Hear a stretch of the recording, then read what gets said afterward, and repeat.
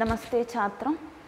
आज हम फिर एक बार बिहारी के दोहे को देखेंगे। पिछले क्लास में आपने बिहारी के दोहे में से पहले जो चार दोहे हैं, उन चार दोहों को पढ़ा होगा। अब इस क्लास में हम बाकी के चार दोहों को देखेंगे। पांचवा है, या अनुरागी चित्त की गति समुझई नहीं कोई। ज्यों ज्यों बूढ़ई श्याम रंग त्यों त्यों उज्जलो होई? और दूसरा है, बढ़त बढ़त संपत्ति सलिलो, मन सरोजो बढ़ी जाए। घटत घटत फिर ना घटई, बरु समोल कुम्हिलाई और सेवेंथ वन, समय समय सुंदर सबई, रूप कुरूप ना कोई। मन की रुचि जेती जितई, तित तेती रुचि होई। आठवा है कहई यहई श्रुति सुमृत्यो यहई सयाने लोग। तीन दबावत निष्कही पातक राजा रोग। अब ये पांचवा दोहा। इसमें जो कठिन शब्द है, उसका अर्थ में एक बार बता देती हूँ। यह अनुरागी चित्त के।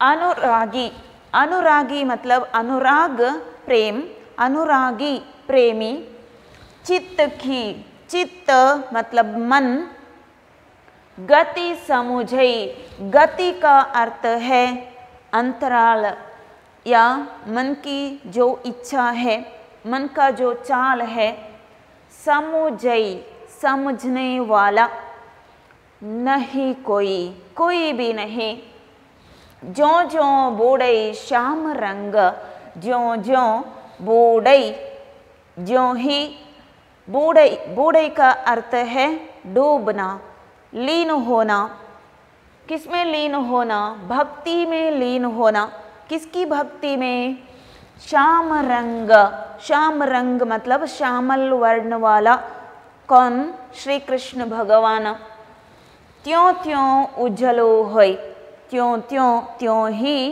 उज्जलो, उज्जवल होय, हो जाएगा, उज्जवल हो जाएगा।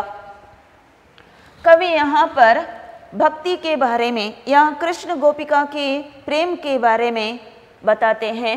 श्री कृष्ण जो भी व्यक्ति श्री कृष्ण की भक्ति में डूबता है, उन व्यक्तियों का जीवन उज्जवल कर देता है। कृष्ण भगवान, ऐसा कवि यहाँ पर बता देते हैं। या अनुरागी चित्त की, अनुरागी, अनुराग प्रेम, अनुरागी प्रेमी। कवि यहाँ कहते हैं, हमें दूसरों के साथ प्यार से, प्रेम से या स्नेह की भावना से व्यवहार करना चाहिए। सभी को प्यार की दृष्टि से, प्रेम की दृष्टि से हमें देखना चाहिए। तो क्या हो जाएगा? सभी के साथ हम बहुत ही प्यार या स्नेह के साथ व्यवहार करेंगे। या स्नेह से देखेंगे, या स्नेह की भावना से सबके साथ जिएँगे तो क्या हो जाएगा? गति समुझई नहीं कोई। गति मतलब हमारे मन की जो इच्छाओं को, या हमारे अंतराल को, या हमारे जीवन में जो भी मुश्किल आता है, जो भी समस्याएँ आती है उन समस्याओं को दूर करने के लिए दूसरों की सहायता हमें ज़रूर मिलेगा। अगर हम दूसरों के साथ हमेशा शत्रुता की भावना से या द्वेष की भावना से जिएँगे, रहेंगे तो लोग हमसे दूर हट जाते हैं। हमारे साथ वे रहने की पसंद नहीं करते या हमारे साथ स्नेह की भावना से रहने की एक इच्छा उन लोगों को नहीं होती। इसलिए यहाँ पर कवि कहते हैं, अनुरागी चित्त या गति उनका जो मन है या अंतराल है या मन की इच्छा है, उन इच्छाओं को जानने के लिए कोई भी हमें नहीं मिलेगा। अगर हम दूसरों के साथ द्वेष की भावना से जिएँगे तो। गति समझे ही नहीं कोई, द्वेष से रहेंगे तो। अगर हमारे जीवन में कोई भी कष्ट या मुश्किल आएगा तो उन मुश्किलों को दूर करने के लिए हमें दूसरों की सहायता चाह चाहने पर भी हमें सहायता करने के लिए कोई नहीं मिलेगा अगर हम दूसरों से प्यार नहीं करेंगे या दूसरों के साथ स्नेह की भावना से नहीं रहेंगे तो। इसलिए हमें ऐसा समझना चाहिए कि सभी लोग एक जैसे हैं, सभी लोगों के साथ हम मिलजुल कर जीना चाहिए। स्नेह की भावना से, प्यार की भावना से रहना चाहिए, तभी हमें सहायता करने के लिए लोग मिलेंगे। हमारे अंतराल को जानने के लिए, हमारे दुख को जानने के लिए ज़रूर कोई ना कोई मिलेगा। उदाहरण के लिए ज्यो जो बूढ़ई श्याम रंग। उदाहरण के लिए, कृष्ण और गोपिका का प्रेम। जिस तरह से गोपिका स्त्रियाँ श्री कृष्ण की भक्ति में डूबते जाते हैं श्री कृष्ण क्या करता है, उन गोपिका स्त्रियों का जो इच्छाएँ हैं या उनका जीवन है, उसे पावन कर देता है। उनकी इच्छाओं को वे पूर्ण कर देते हैं। श्री कृष्ण भगवान जो जो बूढ़ई शाम रंग बूढ़ई डूबना, लीन होना, तल्लीन होना, हमें श्री कृष्ण की भक्ति में डूबना चाहिए। श्री कृष्ण की भक्ति में हम डूबते जाते हैं तो या तल्लीन लीन होते जाते हैं तो श्री कृष्ण भगवान क्या करेंगे? उज्जलु होय श्री कृष्ण भगवान हमारे भविष्य को, हमारे जीवन को उज्जवल कर देंगे। ऐसा यहाँ पर कवि कहते हैं। फिर एक बार कह देती हूँ, अनुरागी चित्त की गति समुझई नहीं कोई। अनुरागी, हम दूसरों के साथ मिलजुल कर या स्नेह की भावना से ना रहेंगे तो हमारे अंतराल को, हमारे चित्त को जानने वाला कोई भी नहीं मिलेगा। अगर हम दूसरों से स्नेह की भावना से रहेंगे तो दूसरों के साथ तो हमारे कष्ट को, हमारे मन के दुख को समझने के लिए ज़रूर कोई ना कोई मिलेगा उसी तरह भगवान श्री कृष्ण में श्री कृष्ण से हम भक्ति में डूब दे जाएंगे तो वे हमारे भक्ति से प्रसन्न होकर हमारे भविष्य को हमारे जीवन को वे पावन कर देंगे उज्जवल कर देंगे ಈ ಪ್ಯಾರಾಗ್ರಾಫಲ್ಲಿ ಕವಿ ಹೇಳಿರುವಂಥದ್ದು ಕೃಷ್ಣ ಮತ್ತು ಗೋಪಿಕಾ ಸ್ತ್ರೀಯರ ಪ್ರೇಮದ ಜೊತೆಗೆ ಏನು ಹೇಳ್ತಾರೆ ಅನುರಾಗಿ ಅಂತ ಹೇಳಿದ್ರೆ ಪ್ರೇಮಿ ಅಂದರೆ ನಾವು ಎಲ್ಲರ ಜೊತೆ ಪ್ರೀತಿ ಅಥವಾ ಸ್ನೇಹ ಭಾವನೆಯಿಂದ ಎಲ್ಲರೂ ಒಂದೇ, ಎಲ್ಲರ ಜೊತೆ ನಾವು ಆತ್ಮೀಯತೆಯಿಂದ ಒಂದೇ ಮನಸ್ಸಿನಿಂದ ಬದುಕಬೇಕು. ಆವಾಗ ಏನಾಗ್ತದೆ? ನಮಗೂ ಸಹ ನಮ್ಮ ಕಷ್ಟ ಕಾಲದಲ್ಲಿ ಸಹಾಯ ಮಾಡಲಿಕ್ಕೆ ಜನರು ಖಂಡಿತ ಬರ್ತಾರೆ. ನಾವು ಇತರರ ಜೊತೆ ದ್ವೇಷದಿಂದ ಅಥವಾ ವೈರತ್ವದಿಂದ ಬದುಕ್ತಾ ಇದ್ದರೆ ಏನಾಗ್ತದೆ? ಜನರು ನಮ್ಮನ್ನು ದೂರ ಇಡ್ತಾರೆ. ನಮ್ಮ ನಾವು ಏನು ಕೊಡ್ತೇವೋ ಜನರಿಗೆ, ಅದೇ ನಮಗೂ ವಾಪಸ್ ಸಿಗ್ತದೆ. ನಾವು ಪ್ರೀತಿಯನ್ನು ಕೊಟ್ಟರೆ ವಾಪಸ್ ನಮಗೆ ಬದಲಾಗಿ ಪ್ರೀತಿಯೇ ಸಿಗುವಂಥದ್ದು. ಒಂದು ವೇಳೆ ನಾವು ಜನರನ್ನು ದ್ವೇಷಿಸಬೇ, ಎಲ್ಲರನ್ನೂ ದ್ವೇಷಿಸುವಂಥದ್ದು, ತಾನು ತನ್ನದು ಅನ್ನೋ ಒಂದು ಸ್ವಾರ್ಥ ಇಟ್ಕೊಳ್ಳುವಂಥದ್ದು, ತನಗೆ ಒಳ್ಳೆಯದಾಗಬೇಕು ಅನ್ನೋ ಒಂದು ಸ್ವಾರ್ಥ ಏನಿದೆ, ಅದು ಏನಾಗ್ತದೆ? ನಮ್ಮನ್ನು ಅವನತಿಯ ಕಡೆಗೆ ತಗೊಂಡು ಹೋಗ್ತದೆ. ಹಾಗಾಗಿ ಎಲ್ಲರ ಜೊತೆ ಪ್ರೀತಿ ಸಹಬಾಳ್ವೆ ಅಥವಾ ಸ್ನೇಹ ಇದರಿಂದ ಬದುಕ್ತಾ ಇದ್ದರೆ ನಮ್ಮ ಕಷ್ಟ ಕಾಲದಲ್ಲಿ ನಮಗೆ ಸಹಾಯವನ್ನು ಮಾಡಲಿಕ್ಕೆ ಅಥವಾ ನಮ್ಮ ದುಃಖವನ್ನು ಅರಿತುಕೊಳ್ಳಿಕ್ಕೆ ಜನರು ಖಂಡಿತ ಸಿಕ್ಕೇ ಸಿಗ್ತಾರೆ. ಉದಾಹರಣೆಗೆ ಕೃಷ್ಣ ಮತ್ತು ಗೋಪಿಕಾ ಸ್ತ್ರೀಯರ ಪ್ರೀತಿ. ಗೋಪಿಕಾ ಸ್ತ್ರೀಯರು ಶ್ರೀಕೃಷ್ಣನನ್ನು ಅನನ್ಯವಾಗಿ ಪ್ರೇಮಿಸಿದರು. ಅವನನ್ನು ಭಕ್ತಿಯಿಂದ ಭಜಿಸಿದರು. ಪೂಜಿಸಿದರು. ಹಾಗಾಗಿ ಶ್ರೀಕೃಷ್ಣ ಗೋಪಿಕಾ ಸ್ತ್ರೀಯರ ಭಕ್ತಿಗೆ ಮೆಚ್ಚಿ ಅವರ ಒಂದು ಜೀವನವನ್ನು ಪಾವನಗೊಳಿಸ್ತಾನೆ. ಅವರ ಭಕ್ತಿಗೆ ಮೆಚ್ಚಿ ಅವರ ಭವಿಷ್ಯವನ್ನು ಉಜ್ವಲಗೊಳಿಸ್ತಾನೆ. ನಾವು ಶ್ರೀಕೃಷ್ಣನ ಭಕ್ತಿಯಲ್ಲಿ ಹೆಚ್ಚು ಹೆಚ್ಚು ತಲ್ಲೀನ ಆಗ್ತಾ ಹೋದ ಹಾಗೆಯೇ ಶ್ರೀಕೃಷ್ಣ ನಮ್ಮ ಭವಿಷ್ಯವನ್ನು ಉಜ್ವಲಗೊಳಿಸ್ತಾನೆ ಅಂಥೇಳಿ ಇಲ್ಲಿ ಬಿಹಾರಿಲಾಲ್ ಅವರು ಹೇಳಿರುವಂಥದ್ದು.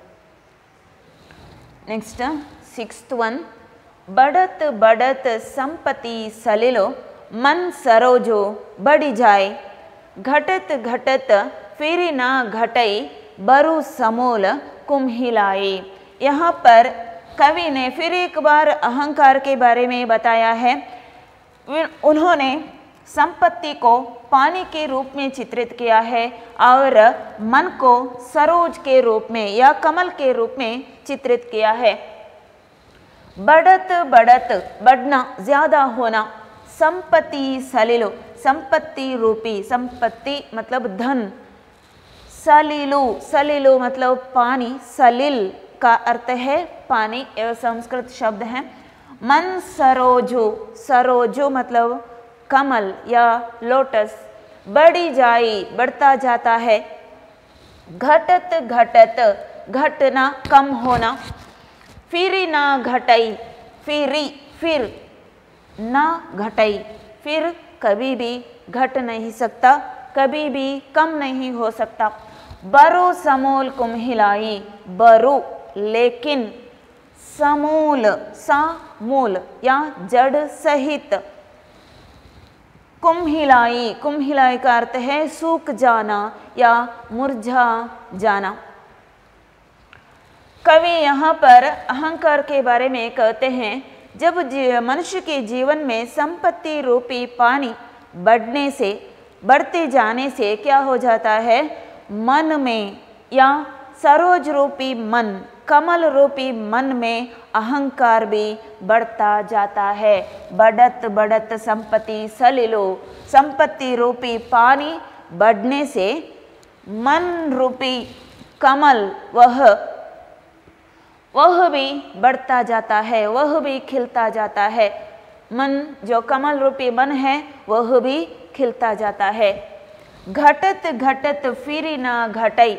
लेकिन जब जब एक बार वो जो संपत्ति है वह कोई शाश्वत नहीं है एक न एक दिन संपत्ति वह कम होता जाता है सर्वनाश हो जाता है।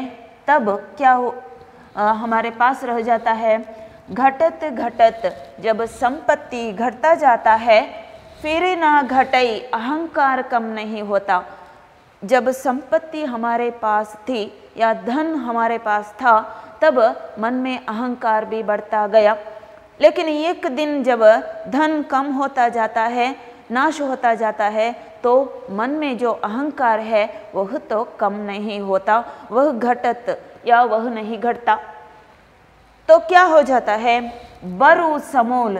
बरु का अर्थ है लेकिन सामूल, जड़ सहित वह मुरझा जाता है, सूख जाता है।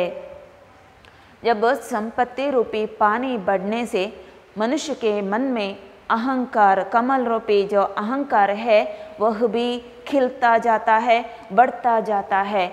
जब उसके पास संपत्ति थी तो उस, उसने किसी की सहायता नहीं की। सब लोगों से वह दूर रह गया। लोग उससे दूर हट गए। उसे कुछ भी दिखाई नहीं देता अहंकार के कारण। हाथ में धन था, इसलिए वह धन के, धन से पागल हो गया था। इस पागलपन के कारण, इस अहंकार के कारण लोग भी उससे दूर हो गए। भगवान भी उन, भगवान ने भी उन पर अपनी कृपा नहीं दिखाई। तो एक दिन क्या हो जाता है? वह संपत्ति नाश हो जाता है। समय वैसा ही नहीं रहता। जब एक बार अमीर हो गया तो दूसरी बार कुछ समय के बाद वह गरीब भी हो सकता है परिस्थिति के कारण, वातावरण के कारण। इसलिए जब वह संपत्ति कम होती जाती है तो मन में जो पहले का अहंकार था, वह कम नहीं होता। वह वैसे ही रह जाता है। उस तरह के व्यक्ति का जीवन कवि कहते हैं, उस तरह के संपत्ति नाश हो जाने से, अहंकार मात्र रह जाने से क्या होता है? वह व्यक्ति जड़ सहित सूख जाता है मुरझा जाता है। उसके पास ना संपत्ति रहती, ना लोग उसके पास हैं, ना भगवान भी उन पर कृपा दिखाते हैं। सिर्फ़ अहंकार ही रह जाता है। सिर्फ़ अहंकार सहित व्यक्ति अपने अवनति के ऊपर जाता है ಇಲ್ಲಿ ಕವಿ ಹೇಳಿರುವಂಥದ್ದು ಅಹಂಕಾರದ ಬಗ್ಗೆ ಇಲ್ಲಿ ಕವಿ ಸಂಪತ್ತನ್ನು ಅಂದರೆ ಹಣವನ್ನು ಅದನ್ನು ನೀರಿಗೆ ಹೋಲಿಸಿದ್ದಾರೆ ಮತ್ತು ಮನಸ್ಸನ್ನು ಅಥವಾ ಮನಸ್ಸಿನಲ್ಲಿ ಇರುವಂತಹ ಅಹಂಕಾರವನ್ನು ಅದನ್ನು ಸರೋಜ್ ಅಂತ ಹೇಳಿದರೆ ತಾವರೆಯ ಹೂ ಕಮಲದ ಹೂ ಅದಕ್ಕೆ ಹೋಲಿಸಿ ಹೇಳಿದ್ದಾರೆ ಕವಿ ಹೇಳುವಂಥದ್ದು, ಮನುಷ್ಯನ ಜೀವನದಲ್ಲಿ ಸಂಪತ್ತೆಂಬ ನೀರು ಜಾಸ್ತಿ ಆಗ್ತಾ ಹೋದ ಹಾಗೆಯೇ ಮನಸ್ಸಿನಲ್ಲಿ ಅಹಂಕಾರವೆಂಬ ಕಮಲ ಏನಿದೆ, ಅದು ಅರಳ್ತಾ ಹೋಗ್ತದೆ. ಅಂದರೆ ಮನಸ್ಸಿನಲ್ಲಿ ಅಹಂಕಾರ ಜಾಸ್ತಿ ಆಗ್ತಾ ಹೋಗ್ತಾ ಇರ್ತದೆ. ಆವಾಗ ಅವನಲ್ಲಿ ಹಣ ಇದೆ ಬೇಕಾದಷ್ಟು, ಆದರೂ ಕೂಡ ಅವನು ಯಾರಿಗೂ ಸಹಾಯವನ್ನು ಮಾಡೋದಿಲ್ಲ. ಯಾರಿಗೂ ದಾನವನ್ನು ಮಾಡೋದಿಲ್ಲ. ಕೇವಲ ತನ್ನ ಸ್ವಾರ್ಥವನ್ನು ಮಾತ್ರ ನೋಡ್ಕೊಳ್ತಾ ಇರ್ತಾನೆ. ಹಾಗಾಗಿ ಜನರು ಕೂಡ ಅವನಿಂದ ದೂರ ಇರ್ತಾರೆ. ಅವನಿಗೆ ಯಾವುದೇ ರೀತಿಯ ಹೆಸರು, ಕೀರ್ತಿ ಯಾವುದೂ ಲಭ್ಯ ಆಗೋದಿಲ್ಲ ಕೇವಲ ಹಣ ಮತ್ತು ಅಹಂಕಾರ. ಇದು ಮಾತ್ರ ಅವನಲ್ಲಿ ಇರುವ ಕಾರಣ. ಜನರು ಅವನ, ಅವನಿಂದ ದೂರ ಇರುವಂಥದ್ದು. ದೇವರು ಕೂಡ ಅಹಂಕಾರಿ ವ್ಯಕ್ತಿಯ ಕಡೆಗೆ ನೋಡುವುದಿಲ್ಲ. ಅಹಂಕಾರಿ ವ್ಯಕ್ತಿಯ ಬಗ್ಗೆ ಯೋಚಿಸುವುದಿಲ್ಲ ದೇವರು. ಕವಿ ಇಲ್ಲಿ ನೆಕ್ಸ್ಟ್ ಲೈನಲ್ಲಿ ಹೇಳ್ತಾರೆ ಒಂದು ವೇಳೆ ಆ ಸಂಪತ್ತೆಂಬ ನೀರು ಕರಗಿ ಹೋದಾಗ ಏನಾಗ್ತದೆ? ಘಟತ್ ಘಟತ್ ಫಿರಿನ ಘಟೈ. ಸಂಪತ್ತೆಂಬ ನೀರು ಶಾಶ್ವತ ಅಲ್ಲ. ಆ ಹಣವೇನು ಶಾಶ್ವತ ಅಲ್ಲ. ಅದು ಒಂದಲ್ಲ ಒಂದು ದಿವಸ ಕರಗಿ ಹೋಗ್ತದೆ. ಅದು ನಾಶ ಆಗ್ತದೆ. ಕಡಿಮೆ ಆಗ್ತದೆ. ಆ ಹಣವೆಂಬ ನೀರು ಏನಿದೆ? ಕಡಿಮೆ ಆಗ್ತಾ ಹೋದ ಹಾಗೆಯೇ ಮನಸ್ಸಿನಲ್ಲಿ ಇರುವಂತಹ ಅಹಂಕಾರ ಮಾತ್ರ ಕಡಿಮೆ ಆಗುವುದಿಲ್ಲ. ಅದು ಹಾಗೆಯೇ ಉಳ್ಕೊಳ್ತದೆ. ಅಂತಹ ವ್ಯಕ್ತಿಯ ಜೀವನ ಹೇಗೆ ಬುಡ ಸಹಿತ ಬಾಡಿ ಹೋದ ತಾವರಿಯ ಗಿಡದ ಹಾಗೆ. ಜೋ ಸಮೂಲ್ ಕುಂಹಿಲಾಯಿ ಅಂತಹ ವ್ಯಕ್ತಿ ಬುಡ ಸಹಿತ ಬಾಡಿ ಹೋಗ್ತಾನೆ, ಒಣಗಿ ಹೋಗ್ತಾನೆ ಅಂಥೇಳಿ ಅಂತಹ ವ್ಯಕ್ತಿ ಯಾವುದಕ್ಕೂ ಪ್ರಯೋಜನ ಇಲ್ಲ. ಹಾಗಾಗಿ ಅಹಂಕಾರ ಮನುಷ್ಯನಿಗೆ ಯಾವತ್ತೂ ಒಳ್ಳೆಯದಲ್ಲ, ಅದು ಅವನನ್ನು ಅವನತಿಯ ಕಡೆಗೆ ತಗೊಂಡು ಹೋಗುವಂಥದ್ದು. ಇಲ್ಲಿ ನೀವು ತಾವರೆಯ ಗಿಡವನ್ನು ನೋಡಿರ್ಬೋದು. ತಾವರೆಯ ಗಿಡಕ್ಕೆ ನೀವು ಎಷ್ಟೇ ನೀರು ಹಾಕಿ, ತಾವರೆಯ ಗಿಡ ಎಷ್ಟು ದೊಡ್ಡದಿದೆ ಅಷ್ಟರವರೆಗೆ ನೀವು ನೀರು ಹಾಕಿದರೂ ಸಹ ಆ ಗಿಡದಲ್ಲಿರುವಂತಹ ತಾವರೆಯ ಹೂ ಏನಿದೆ, ಅದು ನೀರಿನಿಂದ ಹೊರಗೆಯೇ ಅರಳಿ ನಿಲ್ಲುವಂಥದ್ದು. ಅಂದರೆ ಅಹಂಕಾರ, ಅದು ಜಾಸ್ತಿ ಆಗುವಂಥದ್ದು. ನೀರಿನಿಂದ ಹೊರಗೆಯೇ ಅರಳಿ ನಿಂತಹ ತಾವರೆ. ಅದು ಯಾವತ್ತೂ ಕೆಳಗೆ ಬರೋದಿಲ್ಲ, ನೀರಿನ ಒಳಗೆ ಬರೋದಿಲ್ಲ. ಒಂದು ವೇಳೆ ಆ ತಾವರೆಯ ಗಿಡಕ್ಕೆ ನಾವು ನೀರು ಹಾಕದೇ ಇದ್ದರೆ ಏನಾಗ್ತದೆ? ಒಂದು ದಿವಸ ತಾವರೆಯ ಗಿಡ ಒಣಗಿ ಹೋಗ್ತದೆ. ಆದರೆ ಆ ತಾವರೆಯ ಹೂ ಮಾತ್ರ ಒಣಗಿ ಹೋದರೂ ಸಹ ಕೆಳಗೆ ಬರೋದಿಲ್ಲ. ಅಂತಹ ತಾವರೆಯ ಗಿಡ ಬುಡ ಸಹಿತ ಬಾಡಿ ಹೋಗ್ತದೆ, ಒಣಗಿ ಹೋಗ್ತದೆ. ಅದು ಪ್ರಯೋಜನ ಇಲ್ಲ. ಹಾಗೆಯೇ ಅಹಂಕಾರ ಕೂಡ ಸಂಪತ್ತಿದ್ದಾಗ ಯಾರನ್ನೂ ನಾವು ಪರಿಗಣಿಸಲಿಲ್ಲ. ಎಲ್ಲರನ್ನೂ ದ್ವೇಷದಿಂದ ನೋಡಿದ್ವಿ. ಯಾರನ್ನೂ ಪ್ರೀತಿಸಲಿಲ್ಲ, ಯಾರಿಗೂ ಸಹಾಯವನ್ನು ಮಾಡಲಿಲ್ಲ. ಹಾಗಾಗಿ ಯಾರೂ ನಮ್ಮ ಹತ್ತಿರ ಸುಳಿಯೋದಿಲ್ಲ. ದೇವರ ದೇವರ ಒಂದು ಕೃಪೆಗೂ ನಾವು ಪಾತ್ರರಾಗೋದಿಲ್ಲ. ಕೊನೆಗೆ ನಮ್ಮಲ್ಲಿ ಉಳಿಯುವಂಥದ್ದು ಒಂದು ದಿನ ಆ ಸಂಪತ್ತು ಕರಗಿ ಹೋಗ್ತದೆ. ಆವಾಗ ನಮ್ಮಲ್ಲಿ ಉಳಿಯುವಂಥದ್ದು ಕೇವಲ ಅಹಂಕಾರ ಮಾತ್ರ. ಅಹಂಕಾರ ಯಾವತ್ತೂ ಮನುಷ್ಯನಿಗೆ ಒಳ್ಳೆಯದಲ್ಲ, ಅವನ ಆರೋಗ್ಯಕ್ಕೆ ಕೂಡ ಒಳ್ಳೆಯದಲ್ಲ. ನೆಕ್ಸ್ಟ್ ಒನ್ ಸೆವೆಂತ್ ಒನ್ ಸಮಯ ಸಮಯ ಸುಂದರ ಸಬೈ रूप कुरूप न कोई। मन की रुचि जेती जितई, तित तेती रुचि होई। इस पैराग्राफ में, या इस दोहे में बिहारी लाल ने समय और आवश्यकता के अनुसार मनुष्य की जो रुचि है, वह बदलता जाता है, ऐसा यहाँ पर कहते हैं।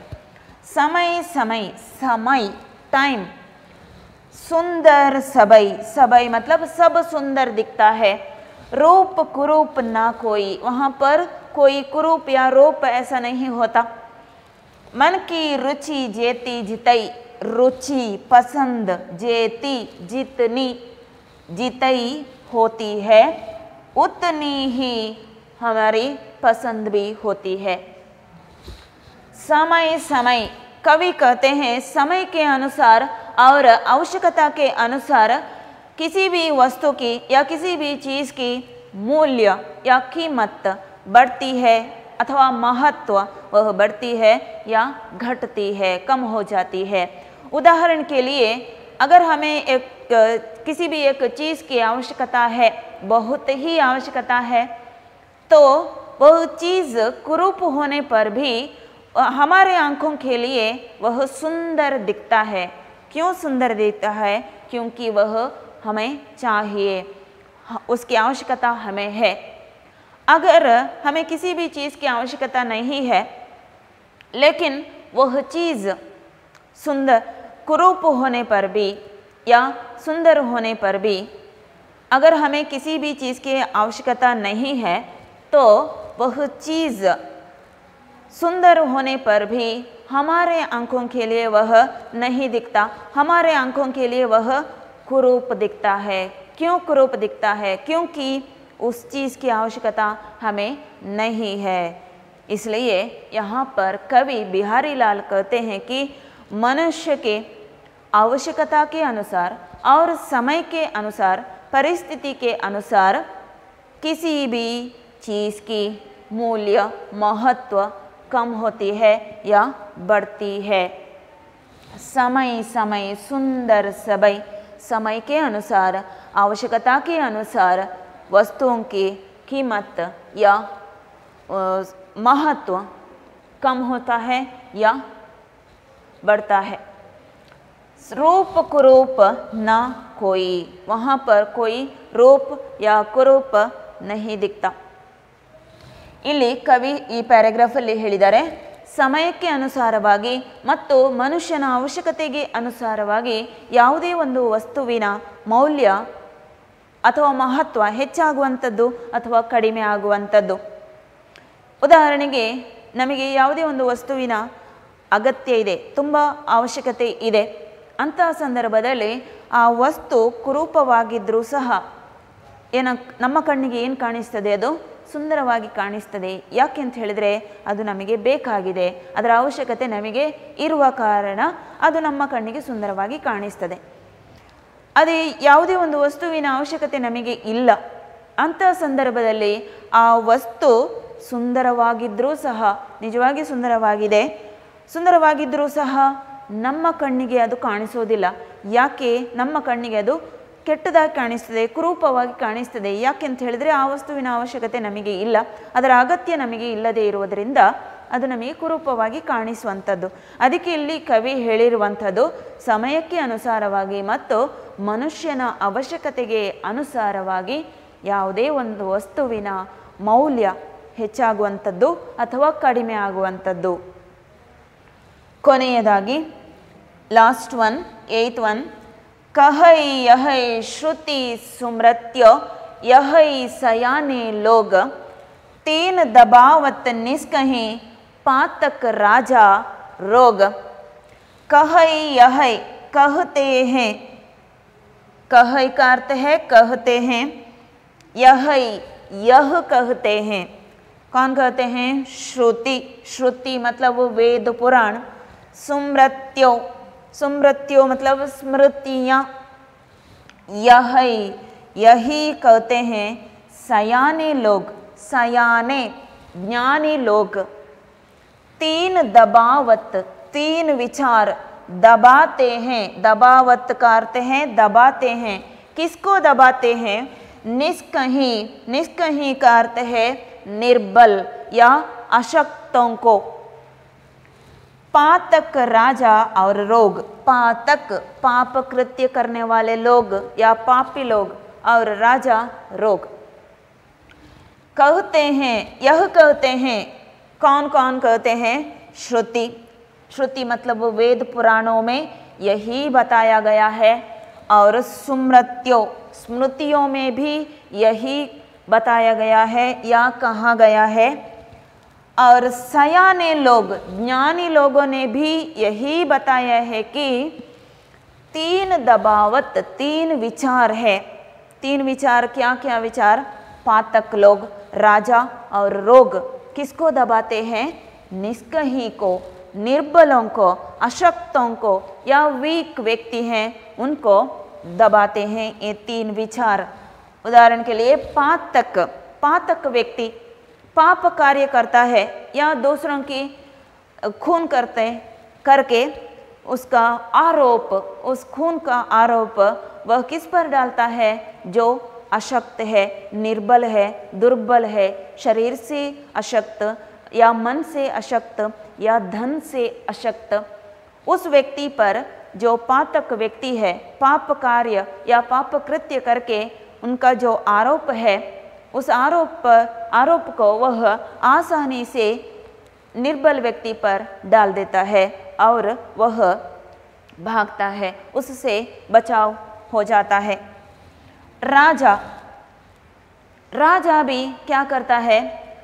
राजा भी कर डालता है। किस पर कर डालता है? जो अशक्त लोग हैं, उस पर या उन लोगों पर वह ज़्यादा ज़्यादा कर डालता है और उन लोगों से वह आसानी से कर लेता है। और रोग, ये रोग भी किसको हमेशा सताता है? जो शरीर से दुर्बल, मन से दुर्बल या धन से दुर्बल, उन लोगों पर यह रोग भी आता है या रोग भी इन दुर्बलों को, अशक्त व्यक्तियों को हमेशा सताता रहता है। अगर दुर्बल व्यक्ति व्यक्ति को कोई रोग आ जाए तो उस रोग को दूर करने के लिए उसके पास आर्थिक व्यवस्था या धन वह नहीं रहता। इसलिए यहाँ पर बताया गया है, वेद पुराणों में भी, स्मृतियों में भी या ज्ञानी लोगों ने भी यही बताया है कि पातक, राजा और रोग ये तीन विचार निर्बलों को दबाते हैं। इसलिए हमें कभी भी निर्बल नहीं बनना चाहिए हमेशा सदृढ़ या सशक्त या सबल होना चाहिए तब दूसरे लोग हम पर अपना दबाव नहीं डालते ಇಲ್ಲಿ ಏನು ಹೇಳಿರುವಂಥದ್ದು ಶ್ರುತಿ ಶ್ರುತಿ ಅಂತ ಹೇಳಿದರೆ ವೇದ ಪುರಾಣಗಳಲ್ಲಿ ಸ್ಮೃ ಸುಮೃತ್ಯು ಅಂತ ಹೇಳಿದರೆ ಸ್ಮೃತಿಗಳಲ್ಲಿ ಹಾಗೆಯೇ ಸಯಾನೆ ಲೋಗ್ ಜ್ಞಾನಿಗಳು ಬುದ್ಧಿವಂತ ಜನರು ಅಥವಾ ಋಷಿ ಮುನಿಗಳು ಕೂಡ ಇದನ್ನೇ ಹೇಳಿರುವಂಥದ್ದು ಇಷ್ಟರವರೆಗೆ. ಯಾವುದನ್ನು ಹೇಳಿದ್ದಾರೆ? ಮೂರು ವಿಚಾರಗಳು. ಯಾರನ್ನ ತುಳಿತಾ ಇದೆ? ಈ ನಿಸ್ಕಹಿ ಅಂತ ಹೇಳಿದರೆ ವೀಕ್ ಇರುವವರನ್ನು, ಮಾನಸಿಕವಾಗಿ ವೀಕ್, ಕ್ಷೀಣವಾಗಿರುವವರು, ಅಥವಾ ಶರೀರದಲ್ಲಿ ವೀಕ್, ಅಥವಾ ಹಣದಲ್ಲಿ ವೀಕ್. ಇಂತಹ ಈ ಅಶಕ್ತರು ಯಾರಿದ್ದಾರೆ, ದುರ್ಬಲರು ಯಾರಿದ್ದಾರೆ, ಅವರ ಮೇಲೆ ತಮ್ಮ ದಬ್ಬಾಳಿಕೆಯನ್ನು ನಡೆಸ್ತಾ ಬಂದಿದೆ ಅಂಥೇಳಿ ಈ ವಿಷಯಗಳಲ್ಲಿ ಇದುವರೆಗೆ ಹೇಳಿದ್ದಾರೆ. ಈಗ ಪಾತಕ ಪಾತಕ ಅಂತ ಹೇಳಿದರೆ ಪಾಪ ಕೃತ್ಯಗಳನ್ನು, ಯಾವ ಕಾರ್ಯಗಳನ್ನು ನಾವು ಮಾಡಬಾರ್ದು, ಯಾವುದು ಕೆಟ್ಟದ್ದು ಅಂಥೇಳಿ ನಾವು ಹೇಳ್ತೇವೋ. ಅಂತಹ ಕೆಟ್ಟ ಕಾರ್ಯಗಳನ್ನು ಮಾಡಿ ಆ ಕಾರ್ಯದ ಒಂದು ಆರೋಪ ಏನಿದೆ? ದೋಷಾರೋಪಣೆ. ಅದನ್ನು ಈ ಪಾಪದ ಪಾಪಿ ಯಾರ ಮೇಲೆ ಹಾಕ್ತಾನೆ? ಯಾರು ದುರ್ಬಲರು ಇದ್ದಾರೋ ಯಾರು ವೀಕ್ ಇದ್ದಾರೋ ಅಂಥವರ ಮೇಲೆ, ಯಾರು ಪಾಪದವರಿದ್ದಾರೋ ಅಂಥವರ ಮೇಲೆ ಈ ಪಾಪಿ ತಾನು ಮಾಡಿದ ಪಾಪಕೃತ್ಯಗಳ ಆರೋಪವನ್ನು ಸುಲಭದಲ್ಲಿ ಈ ದುರ್ಬಲರ ಮೇಲೆ ಹಾಕಿ ಬಿಡ್ತಾನೆ. ಅವರು ಅದಕ್ಕೆ ಬಲಿಯಾಗ್ತಾರೆ. ಅವರಿಗೆ ಅದರಿಂದ ತಪ್ಪಿಸಿಕೊಳ್ಳಿಕ್ಕೆ ಸಾಧ್ಯ ಆಗೋದಿಲ್ಲ. ಕಾರಣ, ಅವರು ವೀಕ್ ಆದ ಕಾರಣ. ಯಾರು ಸದೃಢರಿದ್ದಾರೋ, ಯಾರು ಗಟ್ಟಿ ಇದ್ದಾರೋ ಅಂಥವರ ಮೇಲೆ ಈ ಪಾಪಿಗಳಿಗೆ ತಮ್ಮ ಪಾಪಕೃತ್ಯವನ್ನು ಹಾಕೊಳ್ಳಿ, ಹಾಕಲಿಕ್ಕೆ ಆಗೋದಿಲ್ಲ. ಇಂಥವರ ಮೇಲೆ ಅವನು ತಮ್ಮ, ತಾನು ಮಾಡಿದ ಪಾಪಕೃತ್ಯಗಳ ಆರೋಪವನ್ನು ಹಾಕಿಬಿಡ್ತಾನೆ ಸುಲಭದಲ್ಲಿ. ಕೂಡ ಹೆಚ್ಚು ತೆರಿಗೆಯನ್ನು ಯಾರಿಂದ ವಸೂಲಿ ಮಾಡ್ತಾನೆ? ಸದೃಢ ಜನರಿಂದ ವಸೂಲಿ ಮಾಡಲಿಕ್ಕೆ ಅವನಿಂದ ಸಾಧ್ಯ ಆಗೋದಿಲ್ಲ. ಪಾಪದವರು ಯಾರಿದ್ದಾರೋ, ಯಾರು ವೀಕ್ ಇದ್ದಾರೋ ಅಂಥವರ ಮೇಲೆ, ಯಾರು ಬಡವರಿದ್ದಾರೋ ಅಂಥವರ ಮೇಲೆಯೇ ರಾಜ ಹೆಚ್ಚು ಹೆಚ್ಚು ತೆರಿಗೆಯನ್ನು ಹಾಕೋದ್ರ ಮೂಲಕ ಅವರ ಕೈಯಿಂದ ತೆರಿಗೆಯನ್ನು ಹೇಗಾದರೂ ಮಾಡಿ ವಸೂಲಿ ಮಾಡಿಕೊಳ್ತಾನೆ. ಇವರು ದುರ್ಬಲರು, ರಾಜನಿಗೆ ಕಷ್ಟಪಟ್ಟು ತೆರಿಗೆಯನ್ನು ಕೊಡಬೇಕಾಗ್ತದೆ. ಅವರಿಗೆ ಅದರಿಂದ ತಪ್ಪಿಸಿಕೊಳ್ಳಿಕ್ಕೂ ಸಾಧ್ಯ ಆಗುವುದಿಲ್ಲ, ಸಶಕ್ತರಾಗಿರುವುದಿಲ್ಲ. ಹಾಗೆ ಮೂರನೇದು ರೋಗ. ಈ ರೋಗ ಕೂಡ ಹೆಚ್ಚಾಗಿ ಸತಾಯಿಸುವಂಥದ್ದು ಯಾರನ್ನ? ಯಾರು ಮಾನಸಿಕವಾಗಿ ಶರೀರದಲ್ಲಿ ಮತ್ತು ಹಣದಲ್ಲಿ ಗಟ್ಟಿ ಇಲ್ವೋ, ಸದೃಢವಾಗಿರೋದಿಲ್ವೋ, ಅಂತಹವರಿಗೆ ಈ ರೋಗ ಕೂಡ ಆಗಾಗ ಬರ್ತಾ ಇರ್ತದೆ. ರೋಗ ಬಂದರೆ ಆ ರೋಗವನ್ನು ದೂರ ಮಾಡುವಂತಹ ಒಂದು ಶಕ್ತಿ ಅವರಲ್ಲಿ ಇರೋದಿಲ್ಲ ಅಥವಾ ಆರ್ಥಿಕ ವ್ಯವಸ್ಥೆ ಅವರಲ್ಲಿ ಚೆನ್ನಾಗಿರೋದಿಲ್ಲ. ಹಾಗಾಗಿ ಈ ಮೂರು ವಿಚಾರಗಳು, ಪಾತಕ ಅಂದರೆ ಪಾಪಿ ಮತ್ತು ರಾಜ ಹಾಗೆ ರೋಗ ಇವುಗಳು ಈ ಮೂರು ವಿಚಾರಗಳು ಈ ದುರ್ಬಲರ ಮೇಲೆ ತಮ್ಮ ದಬ್ಬಾಳಿಕೆಯನ್ನು ನಡೆಸಿಕೊಂಡು ಬಂದಿದೆ ಅಂಥೇಳಿ ಈ ಪ್ಯಾರಾಗ್ರಾಫಲ್ಲಿ ಕವಿ ಬಿಹಾರಿಲಾಲ್ ಅವರು ಹೇಳಿದ್ದಾರೆ तो ये था चार बिहारी बिहारी लाल का जो दोहा और आगे हम देखेंगे इनमें जो प्रश्न है उन प्रश्नों का उत्तर किस वस्तु को पाकर मनुष्य उन्मत्त होता है होता है। किस वस्तु को पाकर मनुष्य उन्मत्त होता है? धन को पाकर या संपत्ति को पाकर मनुष्य उन्मत्त होता है। दूसरा प्रश्न, भगवान कब प्रसन्न होते हैं? भगवान सच्ची भक्ति से प्रसन्न होते हैं। तीसरा प्रश्न, बांसुरी किस रंग की है? बांसुरी हरे रंग की है। चौथा प्रश्न प्रेमी चित्त कब उजला होता है? प्रेमी चित्त भगवान की भक्ति में डूबकर उजला होता है। और सिक्स वन वस्तुएँ कब सुंदर प्रतीत होती है? वस्तुएँ कब सुंदर? यहाँ पर है उत्तर, समय और आवश्यकता के अनुसार सब वस्तुएँ सुंदर दिखती है। और सेवेंथ वन पातक राजा और रोग किसे दबाते हैं? पातक राजा और रोग निष्कही या दुर्बलों को, या निर्बलों को, या अशक्तों को दबाते हैं? और एक प्रश्न है यहाँ पर। संपत्ति रूपी सलील के बढ़ने का क्या परिणाम होता है? संपत्ति रूपी सलील, यहाँ पर है उत्तर। संपत्ति रूपी सलील के बढ़ने से मन में जो मन में जो अहंकार रूपी कमल या कमल रूपी अहंकार, वह बढ़ता जाता है। ये मन को यहाँ पर कमल ऐसा बताया है, कवि ने इस अथवा अहंकार को कमल बताया है। इसलिए आंसर क्या हुआ, उत्तर क्या हुआ? संपत्ति रूपी सलील के बढ़ने से मन में अहंकार या कमल रूपी अहंकार बढ़ता जाता है। आगे के जो प्रश्न हैं, उन प्रश्नों का उत्तर मैं नोट्स के द्वारा आपको दे दूँगी। धन्यवाद।